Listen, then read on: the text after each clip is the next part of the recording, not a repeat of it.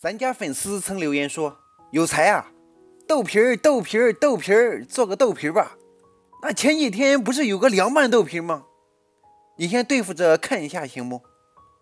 不行，下雪了，冷。那为啥一定要吃豆皮呢？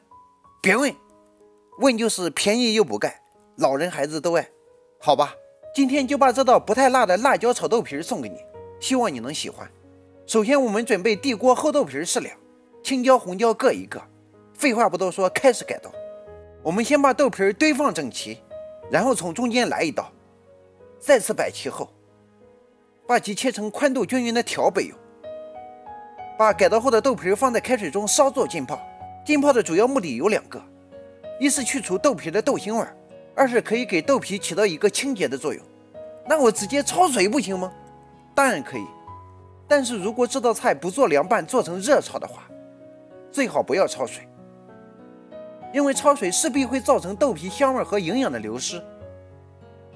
继续改刀，我们沿着辣椒的顶端往后走刀，然后手腕那么一转，辣椒顶部的质地和内部的瓤子就被切掉了。如此这般，对付青椒也用如此的手段，然后再把它们分别切成丝。我们再把经过热水浸泡的豆皮倒入漏勺沥干水分备用。然后我们把锅烧热，锅烧热后加入适量油滑锅，倒出滑锅的油不用，加入猪油适量。一般来说，素菜荤炒、荤菜素烧，待锅内猪油完全化开后，下入葱段、干辣椒、大蒜末，稀里糊涂炒一下，炒出料头的干香味后，倒入辣椒丝稍扒拉一下，下入豆腐皮，哐当哐当的炒起来。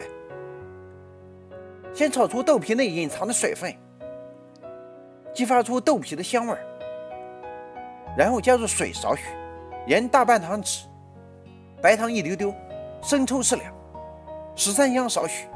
豆皮里面加点十三香，那种浓郁的豆香味儿好像一下子就被激发了出来。纯粹个人经验，不喜勿加。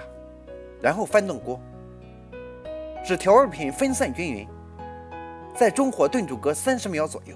使豆皮快速入味，然后再加入辣椒露适量，稍翻拌一下，加入蒜苗花翻动均匀即可出锅，搞定了！一日三餐记得按时吃饭。